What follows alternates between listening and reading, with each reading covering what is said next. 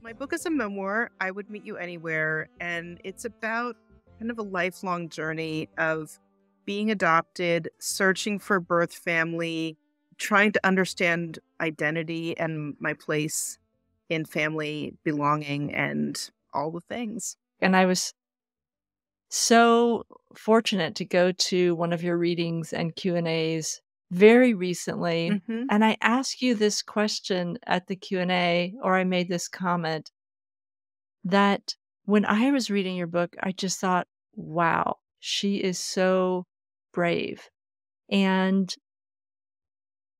brave in the way that you face this journey, the ongoing journey relationship, I would say, with your birth mother. And also brave in the way that you continued to deepen your connections with your adoptive family. I think when you're adopted, those are the two things, right? Like Mm-hmm. your birth family, where did I come from? Do I belong there? And then your adoptive family, do I belong here?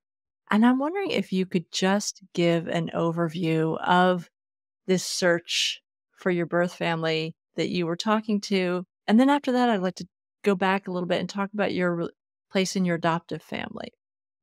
Well, they're really intertwined, right? You know, it's kind of hard to talk about one without the other. Sure. I started, you know, thinking about searching when I was really young, and it happened because of a serendipitous trip to the library, my town library, when I was 12 or 13 years old. And I found a memoir written by another adoptee, um, uh, Florence Fisher.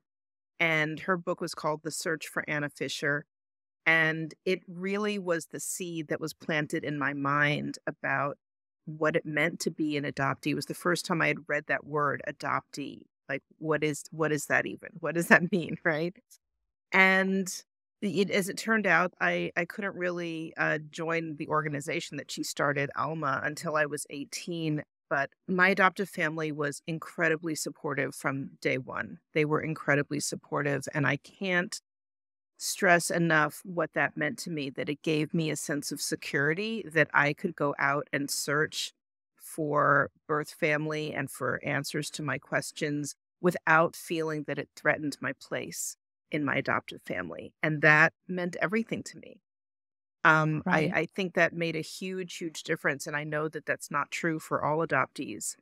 And um, I was very, very aware of that. So um, I did find my birth mother early on when I was in college. And then the subsequent decades of um, having a very up and down relationship with her, um, you know, I always came back to my adoptive family for anchoring and for for grounding. And um, yeah, like I said, I feel really fortunate in in that regard that um, I feel very grounded in in that family. Yeah. When you said the word brave earlier, you're not the first person to use that word. And every time I hear it, I get a little like, you know, is it brave or is it foolish? I, I don't know. Um, because I think there's a fine line, right? Um, because I didn't feel, I have not felt like a brave person. I've just felt like I've just been making my way through this experience, and it's often been very frightening and uh, uncertain and all kinds of things. And so it's so funny that it, it always kind of shocks me when people say that. I'm like, yeah, brave or foolish. I don't, I'm not quite sure.